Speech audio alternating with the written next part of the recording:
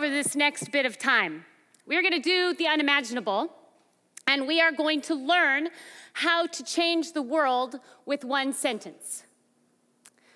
You do not need God, Jesus, or any other deity to be good. That, that's not the sentence. Grace and peace to you from God, our Creator, and from our Lord and Savior, Jesus the Christ. I'm going to try that greeting one more time.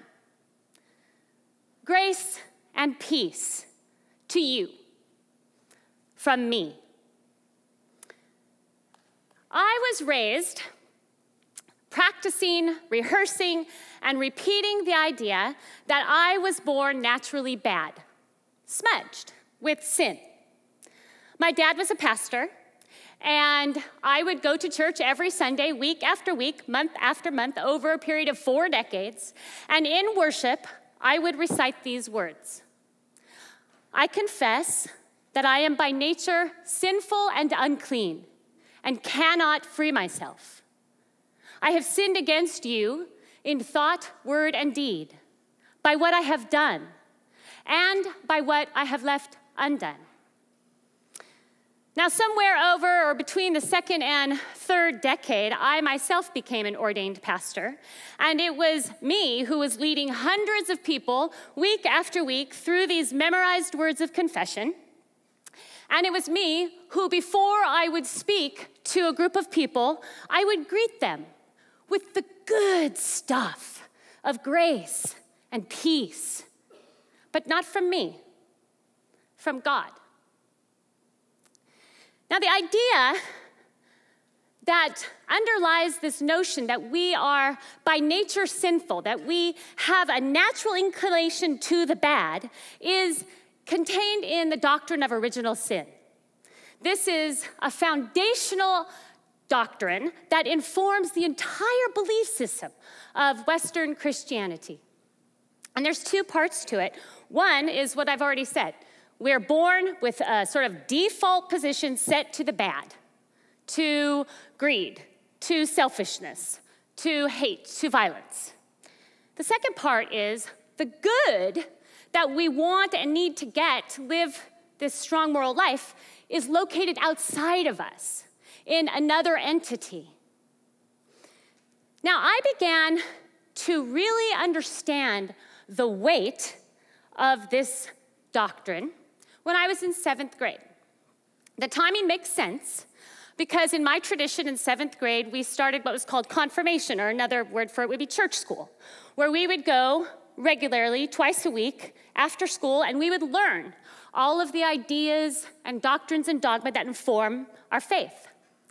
So I was learning that over here and learning all kinds of other things on this side of the world. My body was changing, my curves were emerging. I was noticing boys, boys were noticing me, and those feelings that you had inside of you that were, you know what I'm talking about, when that one certain person sort of accidentally on purpose, you know, brushed up against you and whoosh was like this mm, electric current just went right through your body, and you're just left in this flush of heat. Oh, I loved it. I loved every minute of it.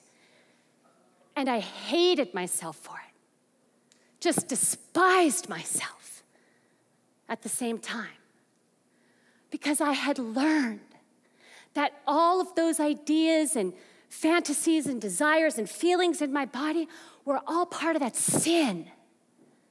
And then if I didn't manage that correctly, if I didn't get enough of that good, and for me, that was from God and Jesus, if I didn't get enough of that in me, I was going to be in serious trouble. We're talking eternal trouble. Because what made this doctrine more weighty is that it's a lifelong endeavor. You are in, you and I are in a perpetual cycle of sin and trying to get the goodness to manage the sin and get it and manage, and we don't find out if we've done it until we're dead. wow, this weighed on me. And so, you know what I did? I got fat, literally. I put on pounds and my curves disappeared, and I accepted this heavy weight of perpetual sin. And I became an expert on it. Oh, yeah. I could spot sin anywhere. And not just mine, because of course the doctrine of original sin doesn't just talk to me about my sin. Haha. it talks to me about all of yours too. So you see, I know you. I know you and your sin. You who can't control your sexuality, you're promiscuous, you're easy, you're gay, bisexual.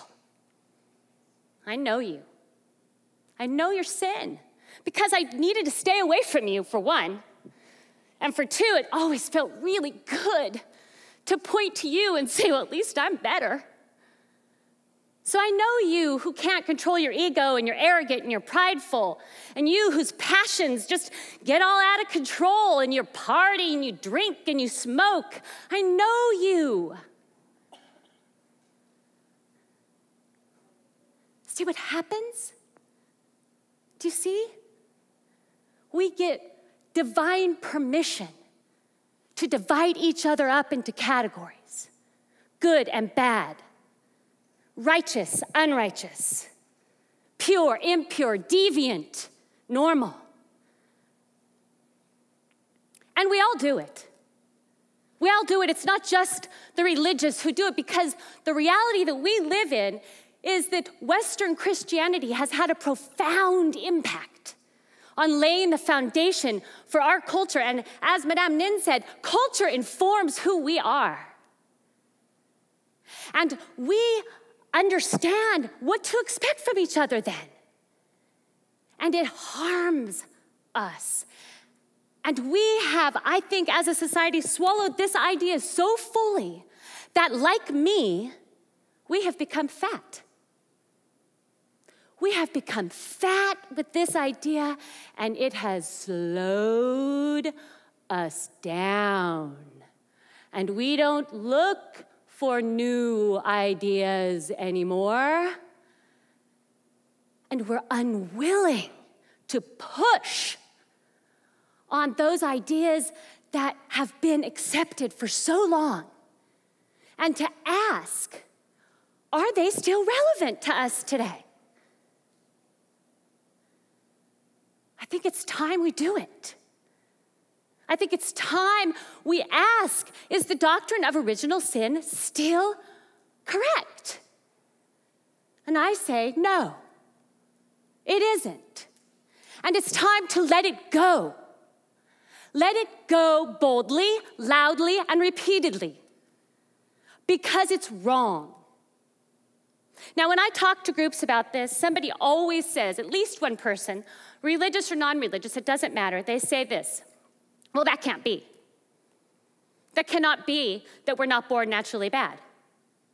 And you know already what they point to, because maybe you're thinking it in your head. Look at all the bad stuff. We've heard about a lot of it today. Yet that is so unconvincing. Because if that is what we use to prove we are naturally bad, the good that we experience every moment of every day just completely washes that away. I mean, you all have experienced bucketfuls of it already today. You just haven't counted it. We walk right past good all the time, and we don't hold it in. That we don't swallow. But man, if somebody cut us off in traffic or was rude to us, mm, we will tell that story over and over and over again. Right? We'll pull it out and look at it a couple times a day. We're trained to look at the bad and the negative and to pass up the good, and we need a new plan. We need a new training and we need a new mantra and idea to practice and rehearse. Because the truth is, I don't know you. I don't know you. I don't know your story or your hopes or your dreams. But here is what I do know I am naturally good. And I have already within me the power to make more good for me and for others. Now, that, my friends, is the sentence. That is the sentence that will change the world. Now, imagine with me, suspend your disbelief. Imagine with me for just a minute if we throw that idea, that sentence into the water, what are the ripples going to be? Imagine. I rehearse that idea. I'm good. And I have so much good in me that I can make more good. I rehearse that. As much as I listen to or rehearse any other idea, my self image is going to blossom. I am going to feel so good about myself, and I'm going to feel good about you too. Because remember, it's not just about me, it's about you. And I affirm that you and I share the same core good and the same capacity to make more good. Can you imagine what that means? We would be better problem solvers, and we know we've got a lot to solve because I'm more confident in myself. I trust myself more. I'm less threatened by you, and I'm more willing to engage in dialogue, even difficult discussions. I mean, imagine. We would actually be more productive workers. We'd have an easier time listening to each other's ideas and our frustrations. We would be more innovative because when I trust myself more, I am willing to risk a new idea and be wrong. I'm also willing to listen to yours. Check this out men and women on par, the same, equal. There's no gender to blame for the fall into sin. We're all already good, and we're all human, and we have the same core good and the same capacity to make more. Think about this no need for right religion anymore. Huh? Doesn't mean we won't have worship or faith traditions, those will continue. It just means it's not required to be good. I don't have to have my right entity fight over your right entity for us to see each other as good. I can disagree with you, but I cannot hate you with divine permission.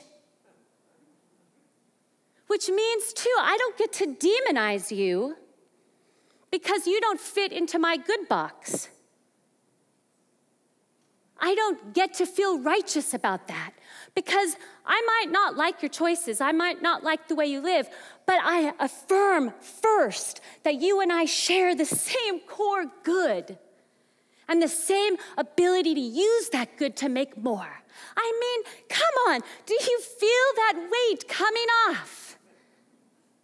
It's not unimaginable, it is within our reach. One sentence I am naturally good. And I have in me the power to make more good for me and for others. It's not going to make a utopia, but it will give us more capacity to solve the problems that face us, as well as know that when bad things do happen, they do not define us. It takes 21 days to form a habit. Do you know that? 21 days to form a habit. Make this sentence your habit. Get your iPods out and your Blackberries and your iPads. Get to your calendar. Set it for next 21 days on repeat. I know you can do it. I know it's easy. Set an alarm to remind yourself every day and repeat it. Start today.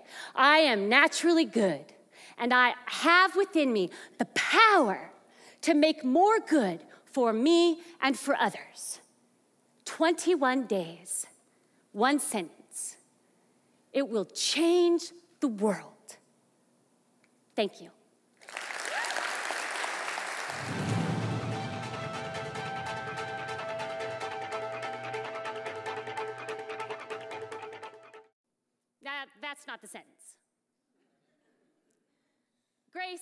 And peace to you from God, our Creator, and from our Lord and Savior, Jesus the Christ. I'm going to try that greeting one more time. Grace and peace to you from me.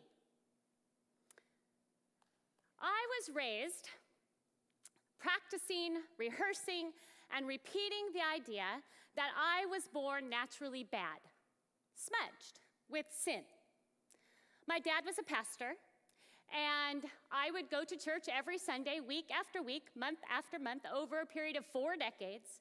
And in worship, I would recite these words I confess that I am by nature sinful and unclean and cannot free myself. I have sinned against you in thought, word, and deed, by what I have done, and by what I have left undone.